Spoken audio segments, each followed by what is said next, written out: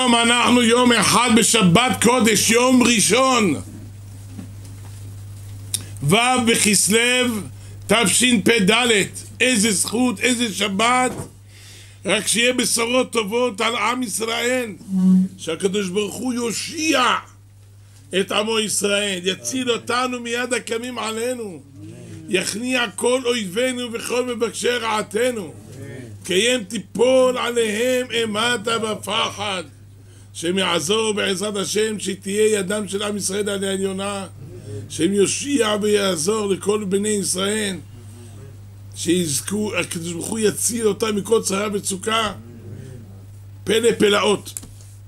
באופן עכשיו בדיוק אנחנו התחלנו כבר במנחה אתמול פרשת ויצא יעקב מבאר שבע וילך חרנה.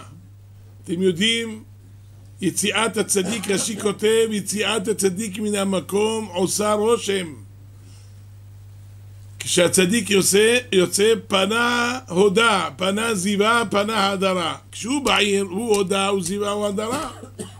כשיוצא, תדעו לכם, איפה שיש צדיק, צדיקים, לומדי תורה, אבל מה זה צדיק? איפה שלומדים תורה, קשורים להשם יתברך, המקום ניצל. אין בעיות. אם יוצא משם הצדיק, מקום שאין צדיק, יש בעיה. תמיד צריך שאדם יהיה מחובר לצדיקים. תמיד. הנה ראינו עכשיו, החיילים עכשיו שם בעזה היו באיזה בניין, קיבלו הוראה להרוס את הבניין הזה, לא ידעו שיש בפנים חיילים. רואים איזה אחד מסתובב, אמרו תעצור, אל תזרוק את הטילים.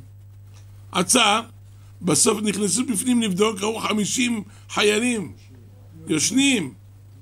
איזה ניסים ונפלאות. למה אלה צדיקים? הקדוש ברוך הוא שומר עמו ישראל.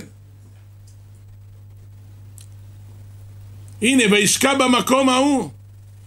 יעקב אבינו, אתם יודעים, הוא 14 שנה לא שכב על מיטה. רק כשהגיע להר המוריה, וישכב במקום ההוא. רק שמה שכב. אבל היה 14 שנה במדרש של ועבר, לא שכב על מיטה. אתם יודעים, היה...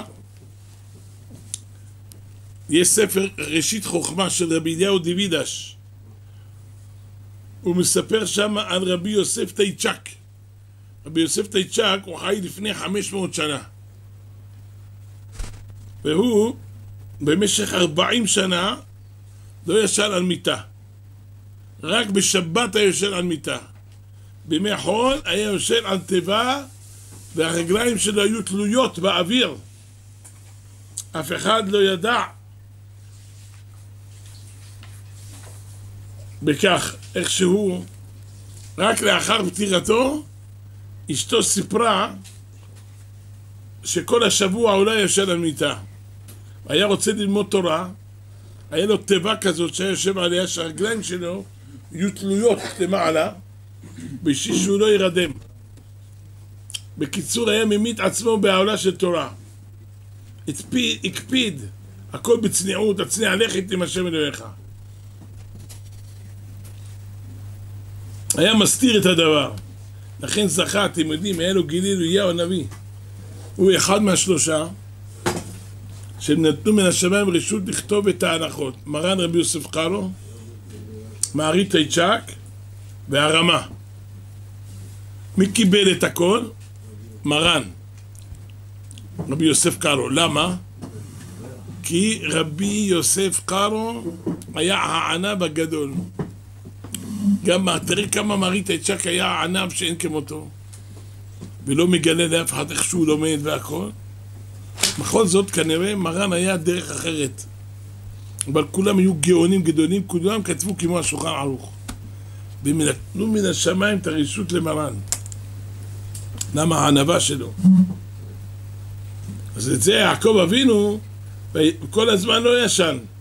וישקע במקום ההוא מה הוא אומר? אין זה כי אם בית אלוהים וזה שער השמיים אומר, היה כל הזמן במדרשים ועבר זה מקדש מעט שם לא שרתה השכינה עדיין. אבל כשבא, או... כשבא שם להר המוריה, מה, וכי שם בשם ועבר, בטח שרתה השכינה, יעקב אבינו לומד, לא תשרה השכינה, מה זה מעט?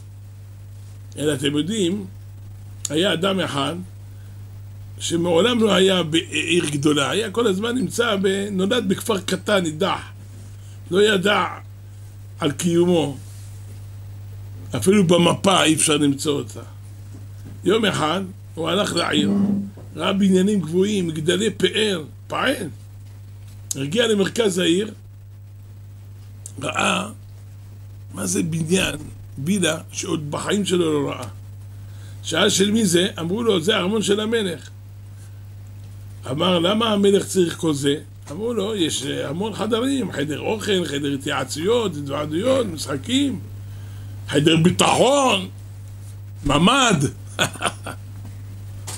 אמרו לו, יש שעת פיקור פעם בחודש, אתה תרשום, אולי תמזל מזלך להזמנה. וככה היה, תקבל הזמנה, נרשם וזכה. נכנס, והגיע לחדר השינה. אומר, איזה חדר זה? אמרו לו, זה הבית של המלך. אבל כל הארמון זה הבית של המלך. אמרו לו, נכון, אבל ההבדל, שם מסתובבים אנשים זרים, אפשר, אבל בחדר הזה אף אחד לא נכנס. אומר, אותו דבר זה הקדוש ברוך הוא, יש מלאכים מסתובבים. אבל בקודש הקודשים רק הקדוש ברוך הוא נמצא. לכן אמר יעקב, זה בית אלוהים. מה, גם שכינה הייתה בבית מדרש של בעבר. אבל זה בית אלוהים. לכן אומר, וידע יעקב ויאמר, אם יהיה אלוהים עמדי ושמרני בדרך הזה אשר אנוכי הולך.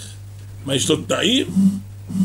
אלא כיוון שיורד לחוץ לארץ, יש שם שליטת השרים, לא ישירות מהקדוש ברוך הוא. שם צולטים כאן. אתה רואה? אז הוא אומר, אם יהיה אלוהים עמדי ושמרני ונתני לחם לאכול ושבתי בשלום בית אבי, יעשה, והיה השם לי לאלוהים, יעשה את המקום הזה בית אלוהים. אז הוא אומר, כמה נדר, זה, אם אדם נודר לעשות איזה דבר לכבוד השם, מהשמיים עוזרים לו. אם יהיה אלוהים, ושמרני. לפעמים אדם שרוצה להינצל מאיזה דבר, לא צריך לנדור נדרים, אבל יגיד בלי נדר, אני מקבל עליי כך וכך, איזה קבלה, ומהשמיים יעזרו לו. למשל, הוא יוצא למלחמה, כן? הוא אומר, אם יחזור בשלום והכל הכל יהיה בסדר, אעשה סעודה, אעשה... אני אניח כל יום גם ראשי, גם רבנו תם, אני אלמד כל יום שעה, שעתיים, מקבל עליהם ללמוד תורה. או, זה ממש ככה יהיה. אז זה מסופר על הרב מגיני שלמה. אומר, יש לו ספר על, על הש"ס. אתם יודעים איך הוא חיבר את הספר הזה? אחרי שהוא היה, למד 36 פעם את כל הש"ס, עם כל מפרשיו, חיבר ספר. הוא אומר שרש"י נגלה אליו בחלום, אמר לו תודה על שיצאת להצדיק אותי, אני איזה דבר, דיבור ברש"י, אומר רש"י צודק, אומר תודה רבה לך. באמת, הוא לא הצליח לתרץ את כל הקושיות על רש"י, אז לכן נינו, הרב, קראו לו רבי יהושע פולק, עשה המשך. אומר שהוא היה בגיל 22, תרחש לו נס, נס גדול. הוא אומר, בשכונה שלו היה פיצוץ גדול של, מכנס, של מחסני נשק, אז היה נקרא אבק שרפה, ככה קוראים לזה. בתוצאה מכך, הוא מספר, אשתו וחמותו ובתו הקטנה נעלמו מן העולם. אומר, הפיצוץ הזה החריב הרבה בתים. גם את הבית שלמדו בו תורה, תלמידים, התמוטט, הכל קרס. אומר, הוא היה תחת ההריסות חי. ככה התמזל לו שהוא היה חי, כי היה הריסות אחד על השני, אבל הוא היה ביניהם, לא נגעו עליו ממש. אומר, ריבונו של עולם, אם אצליח לצאת מכאן, יעסוק כל ימיי בתורה, ומה שעשה המגיני שלמה, אני אמשיך. ראית מה זה? אך גם זה שעשה יעקב אבינו, אם יהיה אלוהים עמדי, שמרני בדרך הזה אשר אנוכי הולך. ריבונו של עולם, תשמור אותי. אדם הולך לאיזה מקומות, צריך להתפלל להשם. לפני שאדם יוצא מהבית, בפרט היום בימינו, צריך הרבה תפילה. אדם מתפלל. יקרא כל יום פתאום הקטורת, זוהר, ויתפלל להשם, שהשם יחזיר אותו בריא ושלם לבית. אומר,